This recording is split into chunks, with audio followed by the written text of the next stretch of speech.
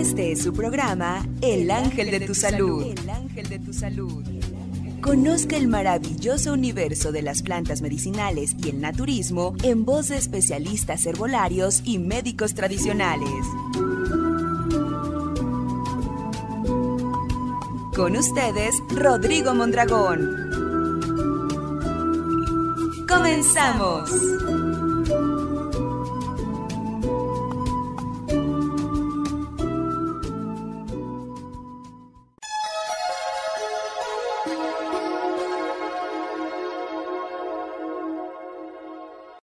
Tal amigos? Muy buenos días.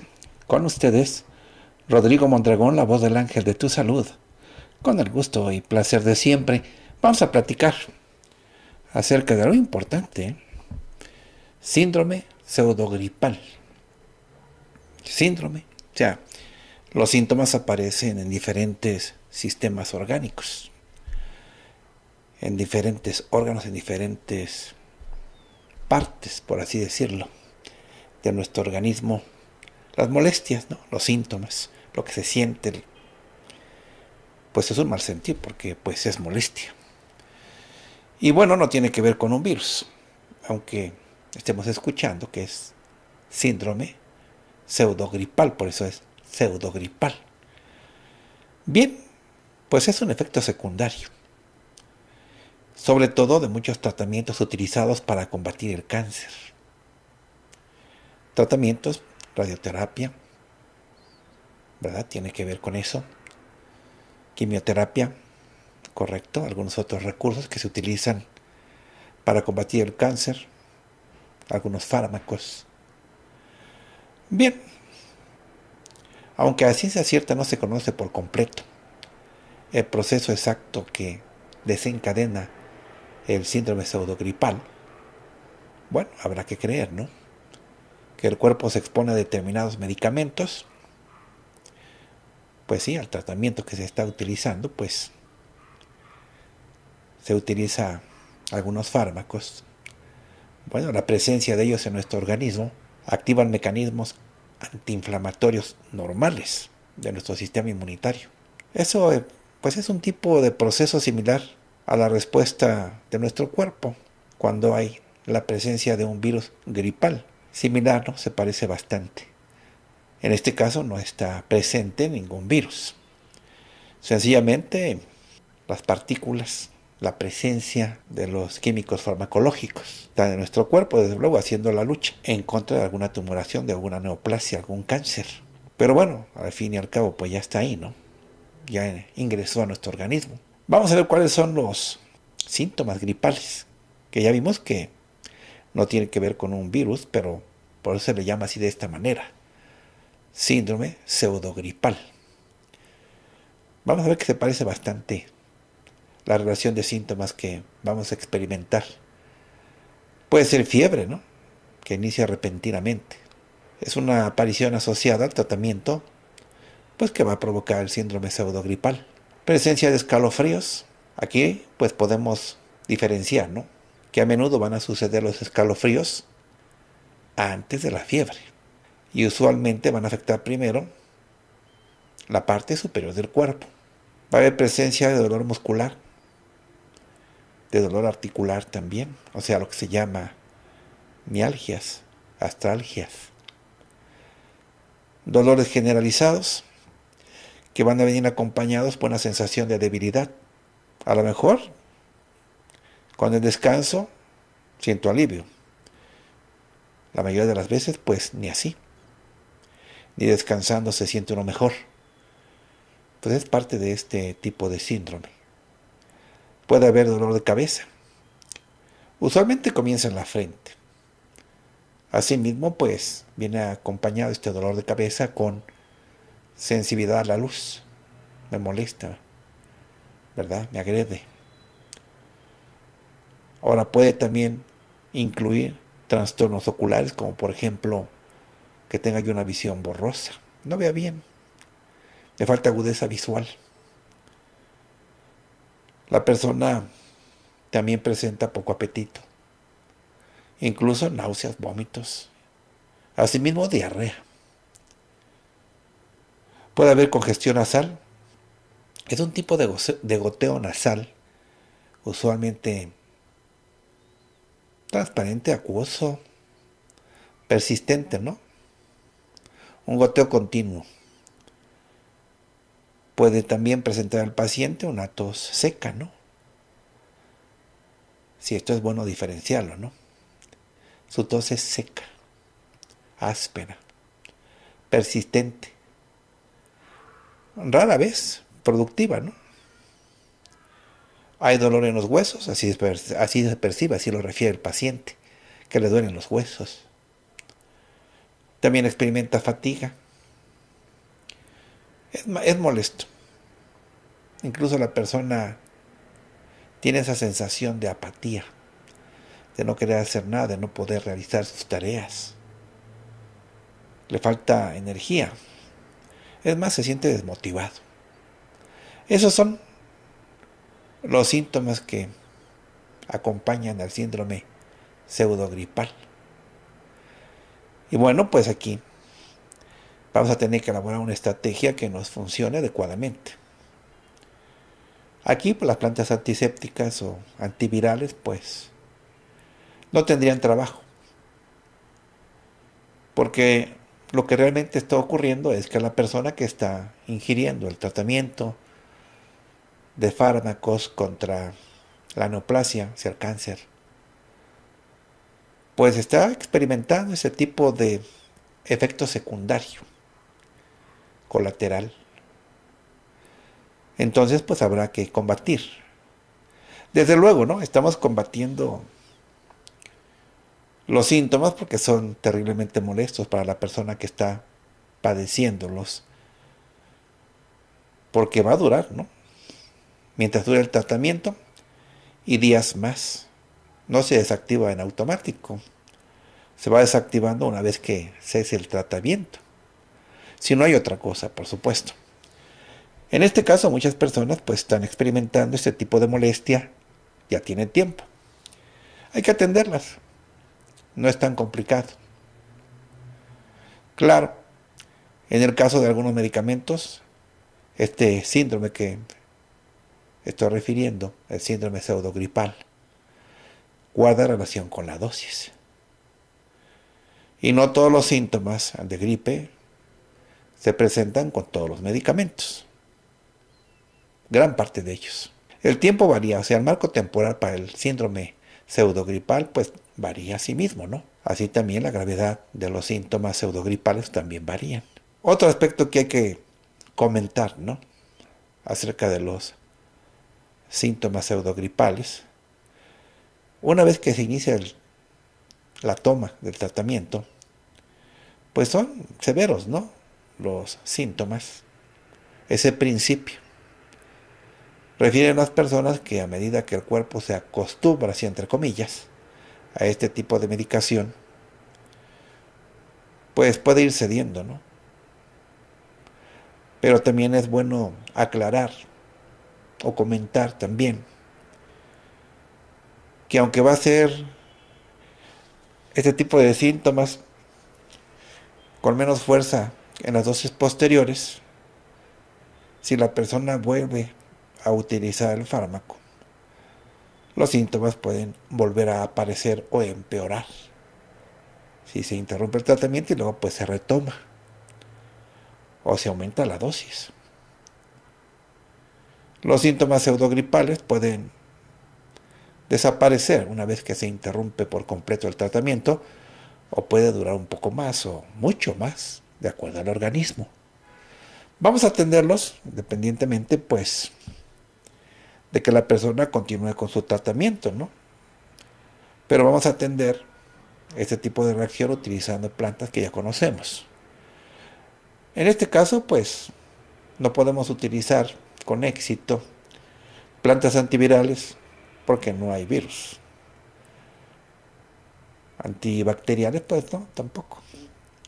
Ah, tenemos que utilizar las antihistamínicas, porque pues es una reacción del sistema inmune ante la presencia del fármaco, del químico.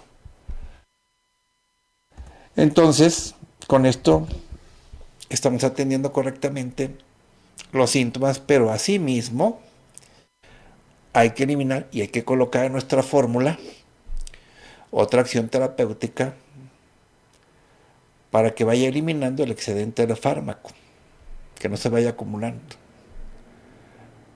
Ya hizo su efecto que esperaba el médico o la persona que está dando el fármaco. Bueno, independientemente de eso, tenemos que utilizar una planta antídota que neutralice, ¿no?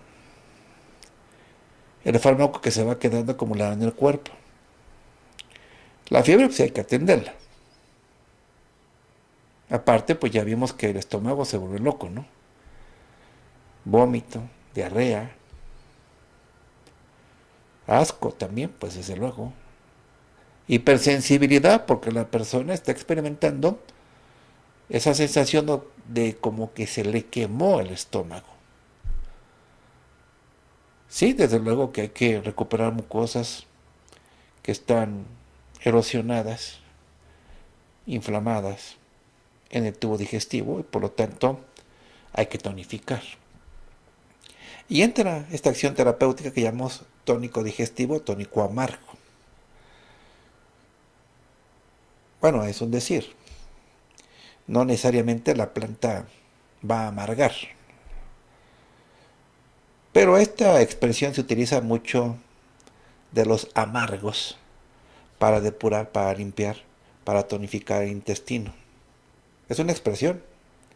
Pero cuando la planta no amarga, entonces se le llama tónico digestivo. Sin embargo, es la misma acción terapéutica. Vamos a tener que utilizar también plantas pectorales, porque aparece una tos seca, ¿no? Cascajosa, hueca, lastimosa, que raspa, ¿no? Y con esto atendemos perfectamente, pues, que solucione, que alivie, que no irrite las paredes de las vías respiratorias, que es lo que está pasando. La persona se siente muy cansada, muy fatigada, muy apática, entonces tenemos que agregar plantas energetizantes. Y desde luego el sistema inmune con un tratamiento así, de esa índole, se ve devastado. Entonces la persona se vuelve frágil. Entonces para evitar que esa fragilidad le dé oportunidad a otros padecimientos tenemos que utilizar en nuestra formulación plantas inmunoestimulantes. Y ya tenemos nuestra fórmula completa. Claro, habrá que hacer más cosas nosotros mismos, ¿no? Si hay falta de apetito, que, se presenta desde luego en esta situación, hay que beber líquido, ¿no? Esto lo resuelve bien un cocimiento de plantas. Pues desde luego porque se cocina, se cuece en agua. Puede tomar otros líquidos que consienta su estómago.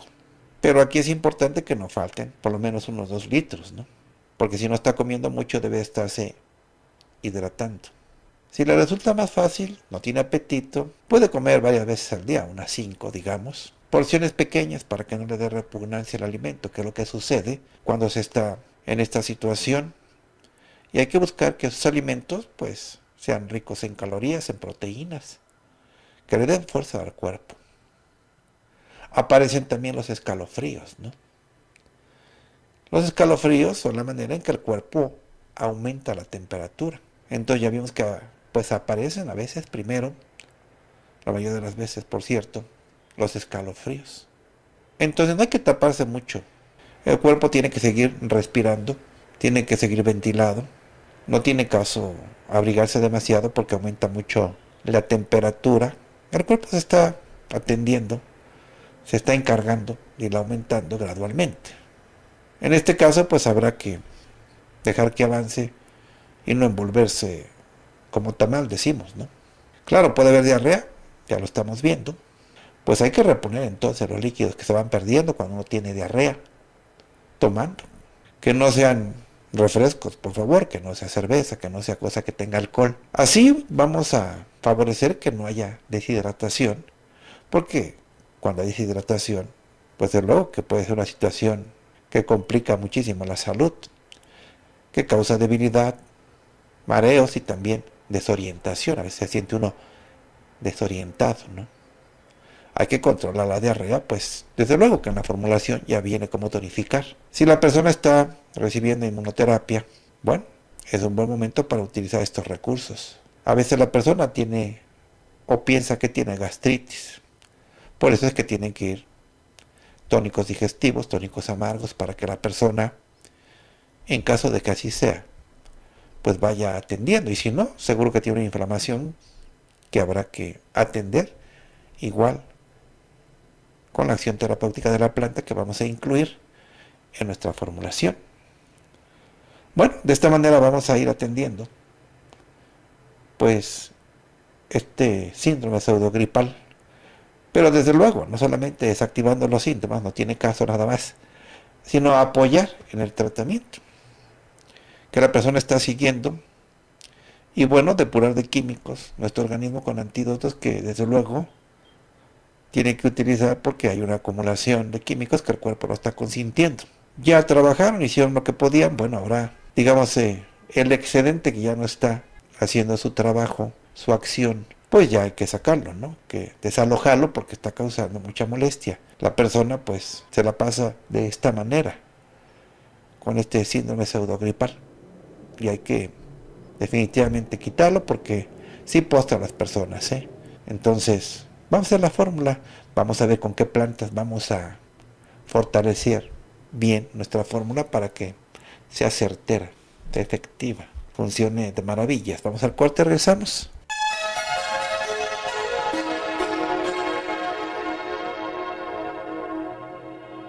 Bien, pues vamos a continuar, vamos a elegir alguna planta, ¿verdad? Para que sirva de, de plantaje, para que nuestro tratamiento pues sea muy efectivo, pero hay que hablar de esa planta que vamos a incluir como principal en una formulación para ver para qué más sirve. En este caso vamos a utilizar la planta 5 llagas. Se utiliza principalmente para las personas que pues tienen diarrea, tienen dolor de estómago, tienen cólicos. En este caso pues sabemos que vamos a ocuparla porque en este síndrome pseudogripal pues hay presencia de diarrea, fragilidad digestiva, dolor cólico también, molestia en su estómago. Entonces, pues vamos a incluir esta planta porque además tiene otras propiedades que también vamos a ocupar. Se usa también para atender la tos. Es una planta antiinflamatoria, también desinfectante. Igual aquí es muy bueno anticiparse en cuanto a fortalecer bien vías respiratorias. Aquí la suposición juega un papel muy importante. Podemos decir, bueno, ¿y si es una infección viral? Porque también puede ser pseudogripal, pero puede ser gripal. En este caso, en herbolaria se utiliza siempre la presunción para anticiparse. Y entonces decimos, vamos a utilizar esta planta, las cinco llagas, porque es una planta que además es antiséptica ya cubrimos esta presunción de una vez que además no pasa nada, ¿no? Estamos utilizando una planta que tiene muchas propiedades. Entonces, aquí ya estamos atendiendo pues una fragilidad digestiva, una afección de vías respiratorias, que hay inflamación.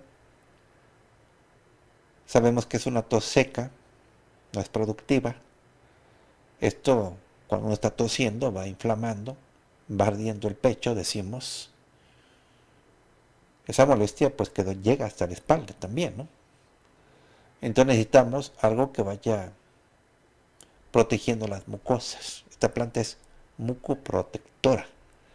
Quiere decir que va a proteger las mucosas contra pues esa tos que se está generando por la presencia de sustancias, materiales que entraron con el fármaco y que bueno, instintivamente, como un actor reflejo, aparece la tos, aunque pues no desaloja nada. Sin embargo, va molestando, va irritando, va, digamos, trastocando las vías respiratorias, entonces con esto ya vamos protegiendo también. Y así, esta planta tiene más utilidades, por ejemplo, duelen los riñones porque pues hay fiebre, y si no estamos tomando suficiente líquido, pues duele, ¿no? Si estamos excedidos en la toma de líquidos, trabaja mucho. ¿Sí? Entonces, lo que tenemos que hacer es tonificarlos. Para que no duelan, para que no arda al orinar, para que no moleste la parte baja de la espalda, que es ahí donde irradia, irradia principalmente este dolor. Entonces ahí, en esta situación, pues estamos atendiendo también los riñones, incluso si llegan a tener arenillas o cálculos, también se desalojan. Pues hay muchos beneficios ¿no? al utilizar esta planta, porque ya estamos calmando las molestias del estómago. Se toma tres veces al día. Sí, calma los dolores. Los retorcijones también los atiende de maravilla. Y bueno, retornando a lo que estamos platicando, ¿no? Del síndrome pseudogripal, pues todavía falta atender otras molestias más que se han ido presentando, ¿no? Ya vimos que puede haber fiebre. Esta planta es antitérmica.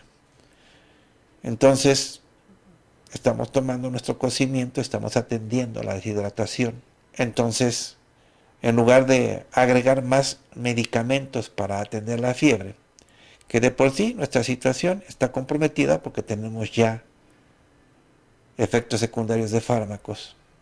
Agregamos más fármacos. No, es mejor utilizar medios físicos, ¿no?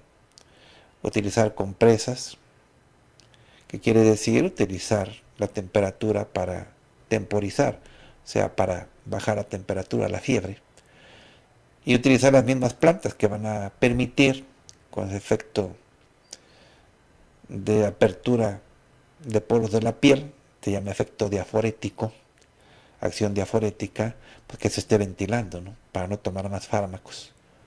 Y utilizar, pues, los paños helados, fríos en la frente o como envoltura, para que se refresque nuestro cuerpo si es que no tenemos control porque ya se provocó una fiebre exagerada por la presencia de estos materiales químicos. Y ya con esto vamos avanzando bastante y utilizamos esta planta, cinco llagas, que también es antitérmica, o sea que va a permitir que se ventile el cuerpo, que no haya escalofríos y que no haya fiebre. Hay náuseas, hay vómitos, bueno, esta planta también nos sirve bastante. ¿Por qué? Porque desde luego es antiemética significa esta acción terapéutica que nos va a ayudar para que cesen los vómitos, la repugnancia, la náusea. Bien, parece esta planta. Tiene más propiedades, vamos a escuchar de Gregorio Rodríguez, pues más comentarios para que sepamos utilizar esta planta, pues con mucho tino, con mucho acierto. Adelante, Gregorio, te escuchamos, bienvenido. Hola, ¿qué tal? Muy buenos días. Claro que sí, maestro. Eh, las cinco llagas es una planta medicinal de uso prehispánico. Realmente para nuestra tradición es muy importante, ya que era parte de la ofrenda del Día de Muertos también. Es una planta endémica de México y que desde luego tiene muchas propiedades. Una de ellas pues es la de tratar la indigestión, ¿sí? la inflamación, flatulencias. Tiene amplias propiedades, es una planta aromática, es una planta que tiene una flor eh, de un color anaranjado, arrojizo, intenso, el cual se lo debe a, sus compuestos que se consideran antioxidantes muy eficientes para la vista, como lo es eh, la luteína y la zeaxantina. Estos componentes son pues muy importantes ya que tienen presencia en la mácula del ojo y que son importantes para mantener una visión sana, una visión precisa, ya que cuando una persona, por ejemplo, padece de degeneración macular, pues tiene dificultad para, para ver ante la disminución de la luz, incluso las líneas rectas las empiezan a ver ovaladas, incluso se necesita pues más luz para poder hacer trabajos minuciosos, es decir, eh, nos cuesta más trabajo observar a detalle. Y la saxantina y la luteína que están presentes en las cinco llagas, pues realmente eh, nos sirve para nutrir nuestros ojos, para fortalecer nuestra visión, sobre todo cuando hay deficiencia de visión nocturna, incluso previene las cataratas. Entonces es una planta que nos va a ayudar a fortalecer nuestra vista de manera natural Y por supuesto que para el estómago es importante, sobre todo para aquellas personas que sufren de empacho, ¿sí? En este problema, pues la persona tiene incapacidad para comer, le duele mucho el estómago, con cualquier cosa que comen, inmediatamente empieza el cólico, empieza el dolor, la molestia, la persona está suelta del estómago y pues con esta planta de cinco llagas se va a ayudar bastante a aliviar todo ese tipo de problemas porque se presenta también inapetencia. La persona tiene falta de ganas de comer. Entonces es un problema muy molesto que vamos a combatir eficientemente con las cinco llagas. Ahora, la planta tiene aceites esenciales, los cuales son muy importantes para ayudar a eliminar bacterias, principalmente por tradición, tratar infecciones estomacales y de vías urinarias. Sin embargo, pues hemos visto que la planta tiene una propiedad antibacterial muy importante para tratar problemas, por ejemplo, de salmonelosis. Durante un problema de infección estomacal por salmonela, usted puede experimentar náusea, vómito, usted puede experimentar diarrea, ¿sí? dolor de cabeza, cólicos constantes intestinales, muy molestos. Incluso hay bacterias, no solo esa, porque la planta no distingue, es, tiene un, efecto bactericida y va a ser activa contra cualquier bacteria. Por ejemplo, para la E. coli es muy eficiente. Esta bacteria primero pues afecta al estómago y posteriormente puede llegar a afectar las vías urinarias. Cuando esto sucede, cuando hay una infección en vías urinarias, eh, por este motivo, la persona aparte tiene mucho cansancio, tiene fiebre, tiene a veces diarrea con sangre. Entonces ahí nos está avisando el cuerpo que hay una infección de origen bacteriano que nos está afectando y que es preciso tomar el té de cinco llagas para eliminar todo este tipo de problemas. Para la tos es eficiente. En México, en diferentes partes del país, se utiliza para combatir la gripa con bastante éxito, pero principalmente para aquellas personas que, que sienten la espalda, en la parte superior de la espalda, inflamación. Dicen, tengo inflamados mis pulmones, tengo mucha mucosidad. Esas personas pues constantemente están tosiendo, quieren expulsar esa mucosidad y la planta de 5 ya es excelente para que evite esa tos y ayude a limpiar correctamente esos pulmones. Adelante, Rodrigo. Vamos al corte, regresamos.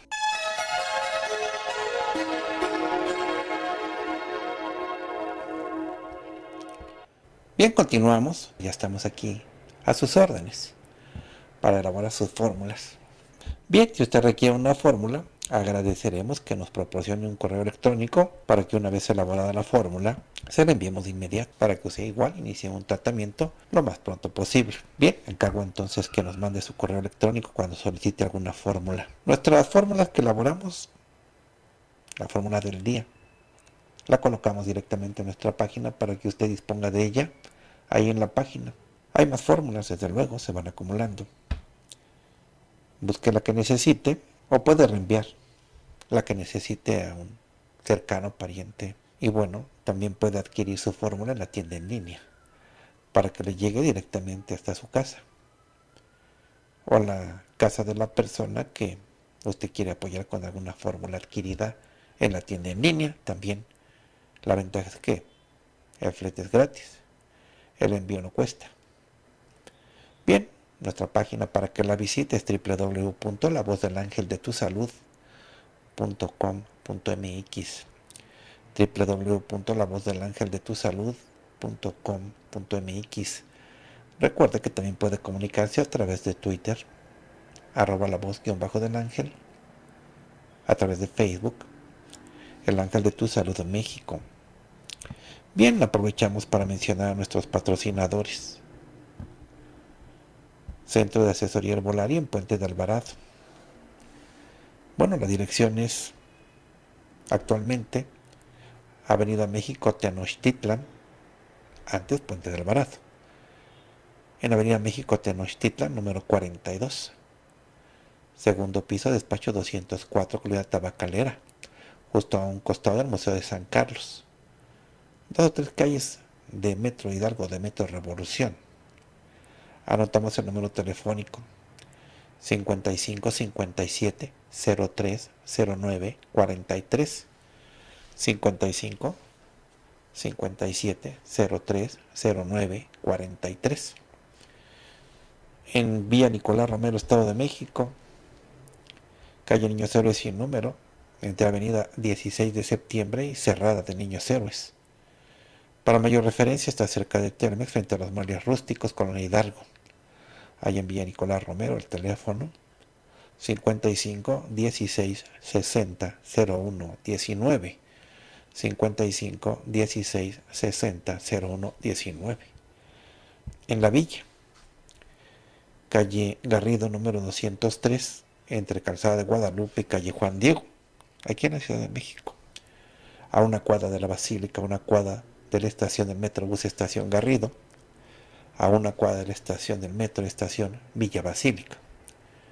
Teléfono para pedir informe 55 15 49 00 61 55 15 49 00 61 en el pasaje Catedral, Ciudad de México, República de Guatemala número 10, interior 122, primer piso, subiendo junto al elevador, Centro Histórico Ciudad de México, atrás de la Catedral Metropolitana.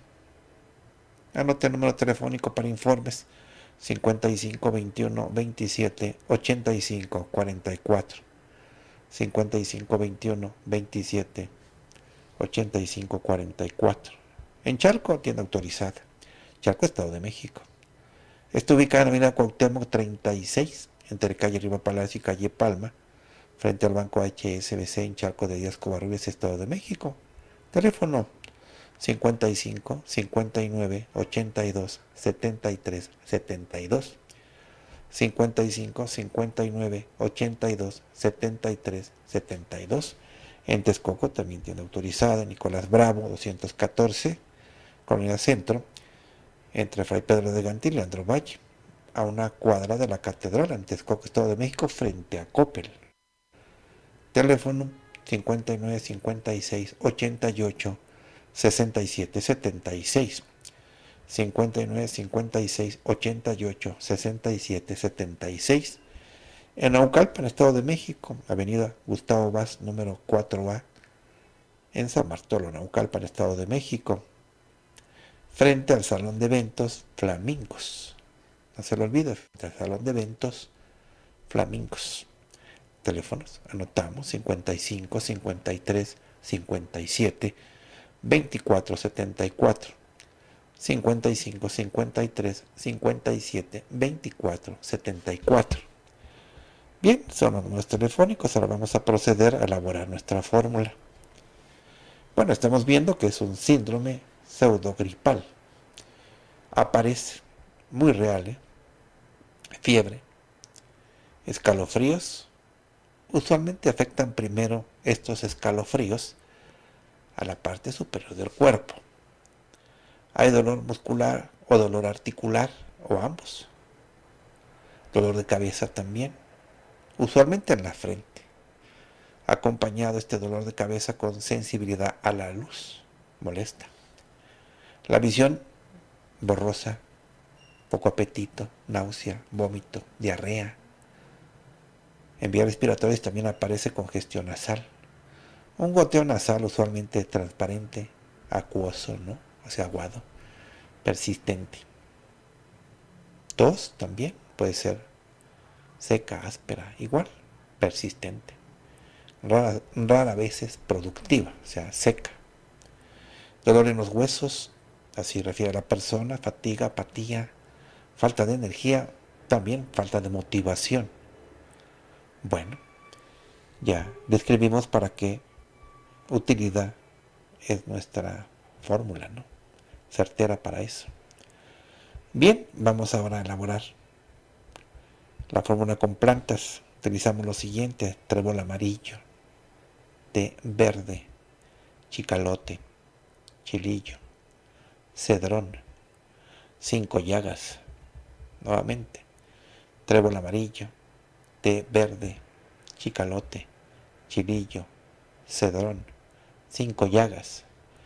Mezclamos las plantas juntas por partes iguales, ya mezcladas. Una cucharada sopera para un litro de agua, 10 minutos de hervor. Pues sí, hay que tomarla como agua de uso. se puede utilizar para compresas. Muchas personas por lo que hacen es en el molde para hacer hielos ponen té.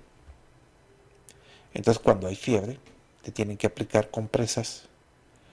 Pues meten en una bolsita los hielitos con tratamiento o en una manta y los aplican para ir bajando la temperatura elevada.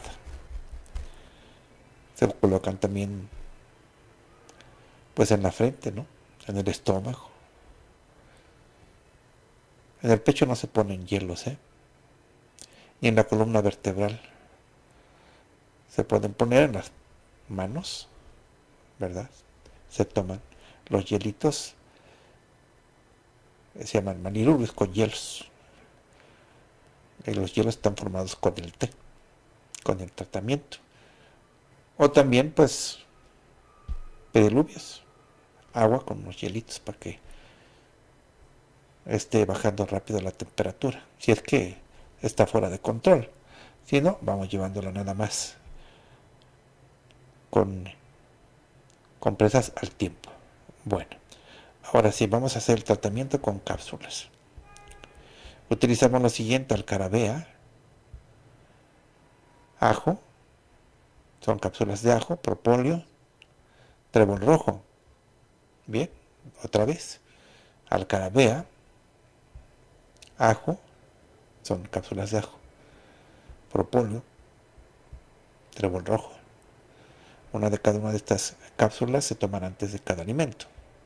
Ahora bien, el elixir del día para fortalecer, en este caso, sistema inmune, sistema respiratorio e inclusive sistema digestivo. Se puede tomar para coadyuvar con la fórmula como acompañamiento, bien se puede tomar solo para fortalecer. El elixir contiene orégano, jengibre, hierbabuena y romero. Orégano, jengibre, hierbabuena y romero, elixir. La clave 1826. No se le olvide de 1826, la clave. Se toma un vasito dosificador al levantarse. Otro vasito dosificador antes de acostarse. Dos veces al día entonces. Al levantarse un vasito antes de acostarse otro. Esto es diariamente. Bien, vamos al corte, regresamos.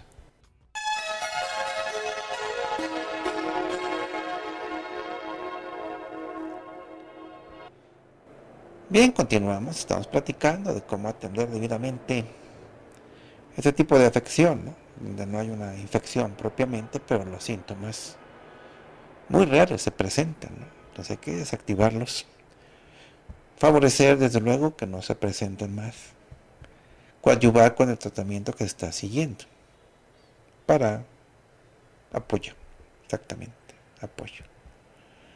Y de esta manera, pues que también la persona resuelva también el padecimiento que está provocando la utilidad o la utilización de los fármacos. Bueno, vamos a dar los números telefónicos para que ya, ya nos llame, ya estamos aquí a su disposición, ya estamos a sus órdenes. Entonces los teléfonos aquí en cabina, para que usted nos llame, ¿verdad? Claro, para que usted nos llame pronto, ¿no? pues ya los mencionamos, vamos a mencionarlos otra vez. 55, 36, 40, 52, 51 hasta el 53. 55, 55, 18, 09, 97. 800, 581, 82, 48. Bien, estamos platicando de la planta 5 llagas. Desde luego, tiene una utilidad histórica. Se utiliza para afecciones bacteriales es una planta que definitivamente es bastante eficaz para atender ese tipo de afecciones bacterianas o bacteriales que afectan el sistema digestivo, que le provocan diarrea, ¿no? Incluso la persona puede obrar con sangre, o la persona puede estar obrando con mucha mucosidad, o la persona puede estar obrando incluso cuando son menores pues de color verdoso, olor agrio, fétido, espumoso. Y lo atiende bien con esta planta.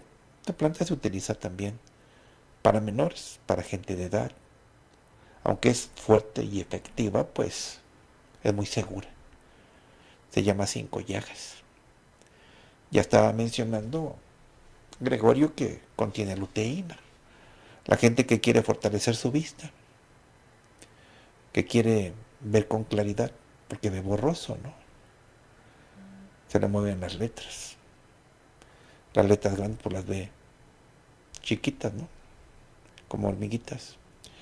Bueno, utilizan esta planta y se favorece bastante. Ese amarillo que tiene esta flor tan extraordinaria, un amarillo dorado, brillante, hermoso.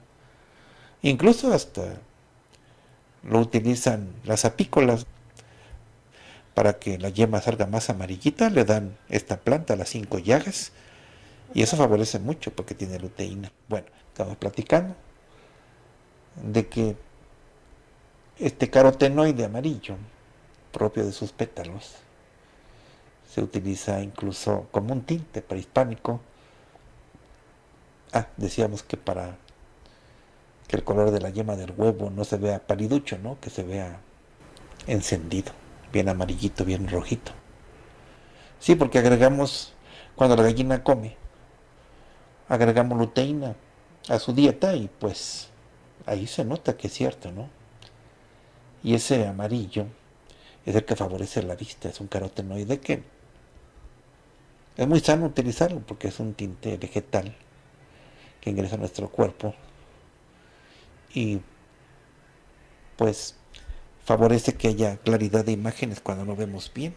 Tiene muchos beneficios porque aparte es antioxidante. Cuando es antioxidante, pues sabemos que va a combatir radicales libres. Esta es una prevención cuando estamos acabando con radicales libres para que no haya efecto tumoral, para que no te desprogramen las células y vaya a comenzar ahí a crecer un abroltamiento, una tumefacción que después no podamos controlar y nos clasifiquen como cáncer, ¿no? que son tumoraciones malignas.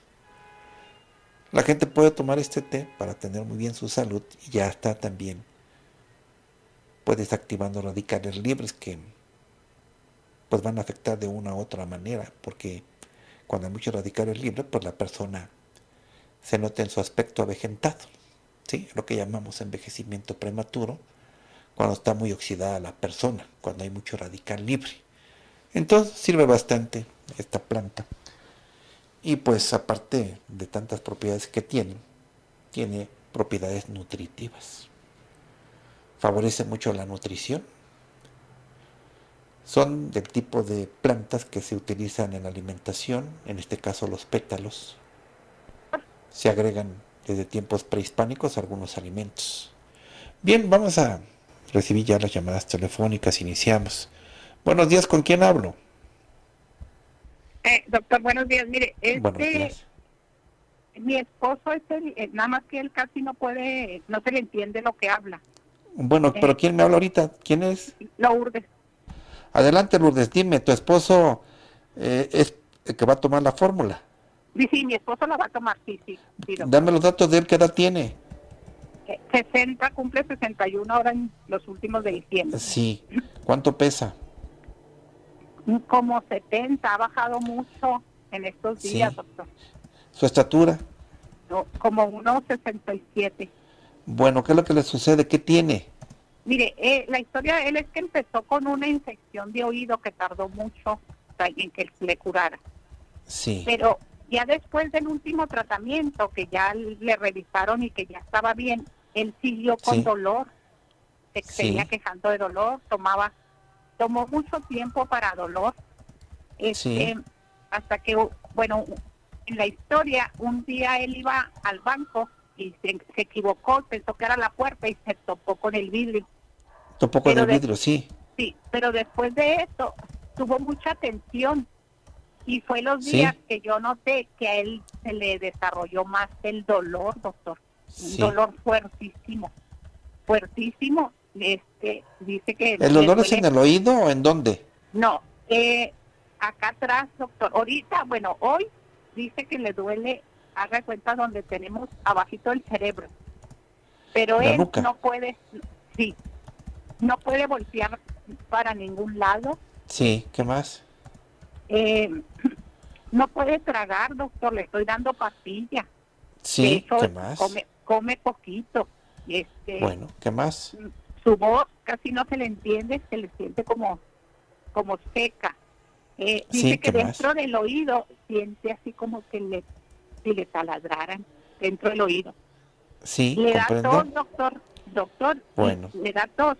A ver, hacemos lo siguiente. Utilizamos equiseto, granadilla blanca, clanchichinole. Utilizamos también malabar, cardamomo, raíz de indio. Fue lo siguiente. Equiseto, granadilla blanca, lanchichinole, malabar, cardamomo, raíz de indio. Mezclamos las plantas juntas por partes iguales, ya mezcladas. Una cucharada sopera para un litro de agua, 10 minutos de hervor. Se toma después de cada alimento. Cápsulas utilizamos tonina, lecitina de soya, tamarindo malabar,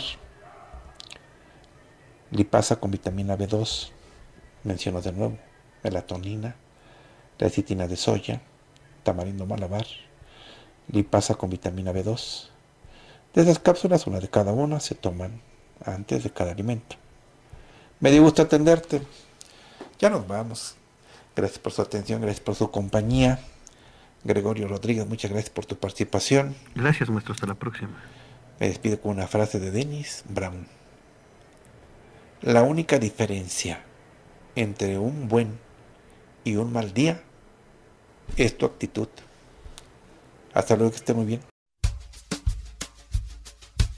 Este fue su programa El Ángel de tu Salud. El Ángel de tu Salud. El Ángel de tu Salud. El Ángel de tu Salud. Escúchenos de lunes a viernes por esta estación.